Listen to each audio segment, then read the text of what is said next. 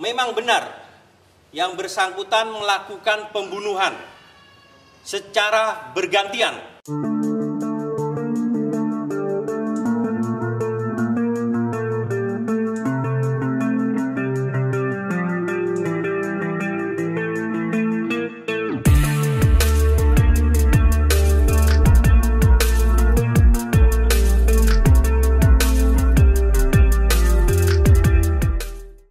Kami juga mendapatkan barang bukti berupa handphone dan juga laptop yang digunakan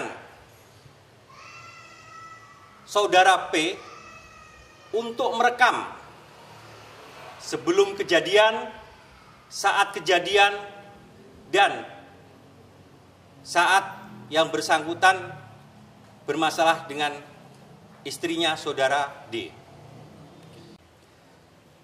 Terhadap keterangan tersangka dalam hal ini, saudara P yang bersangkutan menyampaikan bahwa memang benar yang bersangkutan melakukan pembunuhan secara bergantian.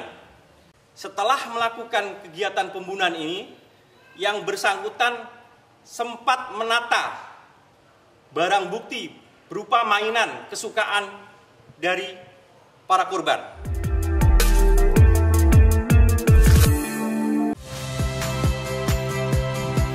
Saya Cynthia Rompas.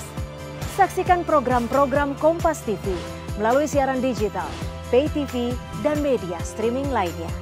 Kompas TV, independen, terpercaya.